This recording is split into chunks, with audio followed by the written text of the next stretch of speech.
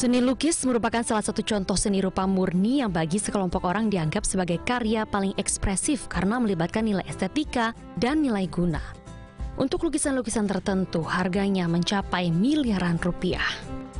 Indonesia sendiri memiliki segudang nama pelukis handal yang karya fenomenalnya dipuji dunia internasional. Di antaranya Fandi dengan lukisan abstrak beraliran modern ekspresionisme, ada juga Basuki Abdullah yang terkenal beraliran realisme dan naturalisme. Karyanya yang dianggap paling fenomenal penuh mistis, yakni lukisan Nyai Roro Kidul penguasa Laut Selatan. Namun dari sekian banyak pelukis asli Indonesia, ada satu nama yang awal tahun 2016 lalu menjadi pusat perhatian banyak orang, khususnya sebagian umat muslim. Karena karyanya digunakan sebagai media untuk mendamaikan dua negara yang sedang berkonflik.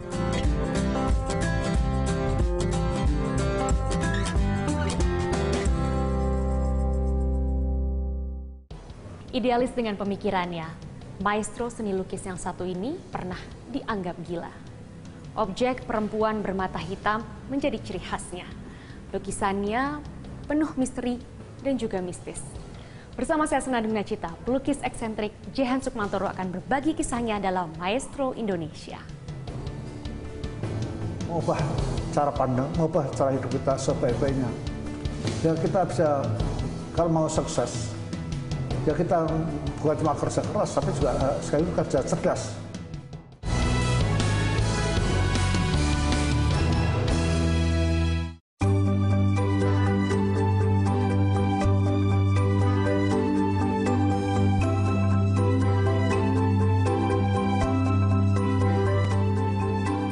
Identik dengan gaya ekspresionisme, pelukis Jihan Sukmantoro yang lahir di Solo, Jawa Tengah 78 tahun silam akrab dengan kuas cat dan kanvas sejak usia dini.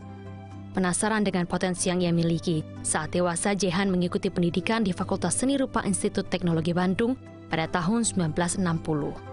Meniti jalan panjang yang penuh rintangan, Jehan akhirnya meraih titik kesuksesan dengan karya lukisannya. Corak gaya lukisan Jehan berkarakter figuratif yang khas, setiap objek manusia lukisannya adalah figur bermata hitam pekat. Kombinasi warna cat yang digunakan pun relatif sederhana dan terkesan datar. Secara filosofis, Jihan seolah sedang memadukan alam mistis timur dengan alam mistis barat. Karyanya diam kukuh, terasa mencitrakan suasana meditatif. Jihan adalah salah satu dari sekian banyak pelukis Indonesia yang berlabel maestro dan patut menjadi inspirasi generasi muda khususnya di bidang seni lukis.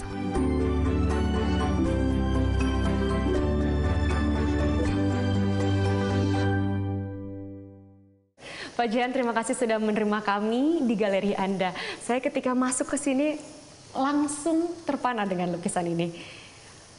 Dari ukurannya saja sudah fantastik gitu. Ketika melihat uh, gambarannya juga ini seakan menyerap. Bisa diceritakan Pak ini tokoh ini siapa? Hmm. Ini Ratu Laut Nusantara. Ibunya Ratu Laut Selatan atau Laut Kidul. Dan juga sesungguhnya ibunya para ratu pantai yang ada di Nusantara. Dia hadir atau saya hadirkan sebagai lambang penjaga poros maritim NKRI kita. Seperti apa tuh Pak peran penjaga poros maritim? Ya seperti untuk memperkuat kehadiran suatu negara dan yang menyadari bahwa sesungguhnya kita bangsa maritim, bangsa yang terdiri dari kepulauan sekian banyak yang disatukan oleh laut, harus ada lambang penjaganya. Kita itu manusia itu sebenarnya manusia lambang, perlu lambang-lambang tertentu. Jadi tidak ada urusannya dengan apa eh, tahlil tidak, tapi itu berani membuat lambang berani mengungkapkan uh, mitos eh, supaya kita kuat hmm? supaya kita bisa jadi bangsa besar Jepang punya mitos turunan dewa matahari hmm. kita juga sebagai bangsa besar bangsa maritim punya penjaga sakti yaitu apa ratu laut nusantara ya, tujuannya Ratu Laut Nusantara ini untuk menjaga. Sedangkan ada juga lukisan-lukisan dari Pak Jehan yang ternyata ini juga diciptakan akhirnya untuk menjaga perdamaian. Ya. Salah satunya adalah yang kemarin bulan uh, di atas Ka'bah dan juga tafakur di Musdalifah. Nah, ya. Ketika awalnya menciptakan lukisan itu, apakah memang sudah uh, dibayangkan, ditujukan untuk suatu hari menciptakan perdamaian? Ini menarik sekali pertanyaan. Dulu 17 tahun yang lalu saya buat lukisan itu ya ada inspirasi ketika saya berhaji uh, ke Tanah Suci saya ciptakan 12 lukisan antara lain yang dua yaitu yang bulan di atas Ka'bah dan Tafakkur di Mustalifah yang akhirnya ke sekarang di istana eh, kerajaan Saudi Arabia dan yang satu di istana kepresidenan eh, Teheran Iran.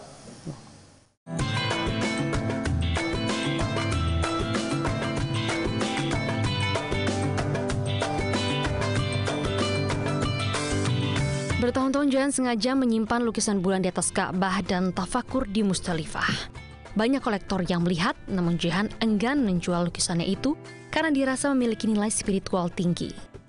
Hingga pada bulan Maret 2016 lalu, saat 605 delegasi dari 57 negara mengadakan konferensi tingkat tinggi luar biasa Organisasi Kerjasama Islam di Jakarta.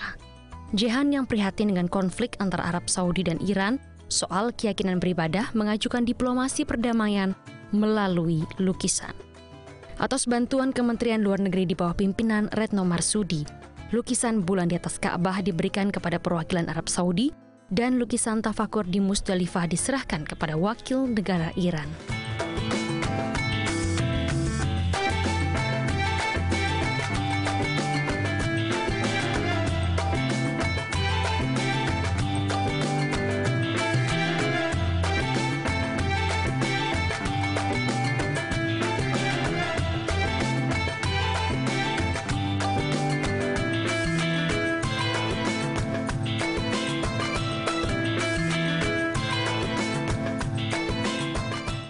Kelihatannya ini baru pertama kali, tapi uh, tentang ide utama mendorong perdamaian kita sudah diinspirasi oleh pembukaan Undang-Undang Dasar kita bahwa secara aktif kita mendorong itu semuanya.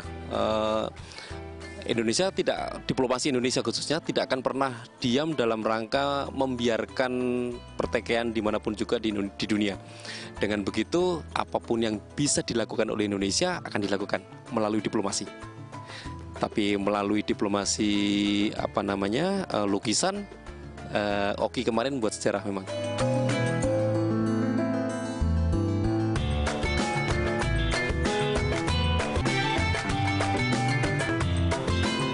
apa pun negaranya, apa pun uh, pandangan pandangan uh, keagamaannya, apa pun pandangan politiknya, tetap pada saat melihat Islamnya cuma satu gitu, cuma melihat Islamnya cuma satu. Hmm, itu yang mungkin bisa di bisa diperankan oleh Indonesia mungkin ya. Dan Iran sama Arab Saudi uh, berpelukan pun setelah mendapat uh, hadiah dari Indonesia itu surprise bagi dunia internasional itu. Uh, uh, momen bersejarah tidak pernah terjadi.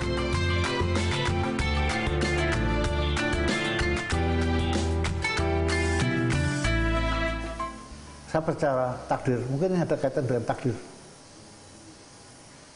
Kenapa Bapak merasa dengan memberikan lukisan itu akan punya pengaruh terhadap uh, konflik yang terjadi di antara dua negara atau hubungan dua negara ini?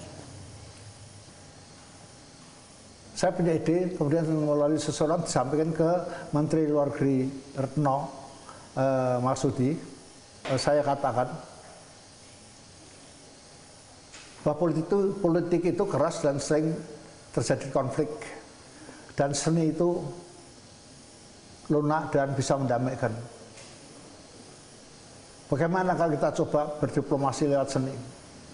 Barangkali kalau Indonesia bisa jadi negara penyebar perdamaian dunia. Eh responnya bagus. Dan setuju bahkan kemudian dilaksanakan yaitu e, dua lukisan yang diberikan ke dua negara yang e, sedang konflik di Timur Tengah itu. Apa keistimewaan dari dua lukisan ini sehingga lukisan ini dirasa pantas untuk uh, mewakili ataupun bisa mendamaikan suasana yang tengah panas di antara kedua negara. kalau saya pikir saya pribadi, saya sendiri juga kadang-kadang tidak mengerti, tidak tahu. Tapi kadang-kadang saya berpikir kembali seperti yang saya ucapkan. Puncak gerak diam, puncak tahu tak tahu. Nah mungkin ini ini bagian dari dari ini kan. Dan tentu saja puncak hidup mati. Harga lukisan Bapak ini kan nggak murah, apalagi yang kemarin, itu harganya miliaran. Sampai akhirnya Bapak memberikan itu secara gratis, apa yang diperjuangkan? Untuk negara, sampai kapan pun saya tidak pernah ingin minta. Kalau bisa, saya ingin memberi. Ada rencana-rencana selanjutnya membuat uh, lukisan yang serupa, karena kan sekarang memang sedang banyak terjadi konflik. Ya, kemarin itu juga melalui uh, wakil saya, itu utusan atau duta besar dari Palestina juga bilang lo negeri kami juga ada konflik kenapa nah, kami tidak dikasih eh, lukisan? Eh, tapi eh, apa wakil saya eh, eh, tidak menjawab. Nah, satu hal tujuan saya sebenarnya apa hidup itu hidup itu punya punya makna maka kalau ditanya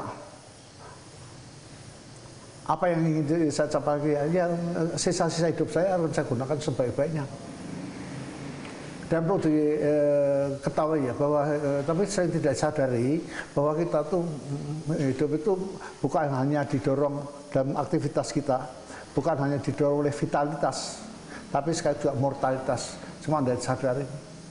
Orang di bawah di bawah eh, 50 tahun. Itu memang kebanyakan kerjanya didorong oleh vitalitas untuk bagaimana nyiapkan hidup, bagaimana membentuk uh, hidup kehidupan yang baik. Tapi setelah itu menjelang uh, menua mestinya yang yang dorong itu bukan vitalitas lagi seperti saya sekarang kegiatan saya ini bukan vitalitas wah orang bilang keliru orang bilang wah jihad itu vitalitas yang hebat. Enggak mortalitas saya yang bekerja sekarang. Artinya apa nanti kalau saya mati apa yang saya tinggalkan? Hah? kalau dulu di bawah 50 berjuang untuk bekal hidup nah sekarang saya berjuang dalam segala bentuknya untuk apa? Bekal mati. Hidup ya hidup, hidup ya perlu disiapkan kematian pun perlu disiapkan. Kalau saya itu. Sebagai bangsa besar itu wajib ya satu apa? Menghargai para pahlawan. Di samping itu yang tidak kalah penting pak mengenal sejarahnya meluruskan dan menyembuhkan luka-lukanya. Itu penting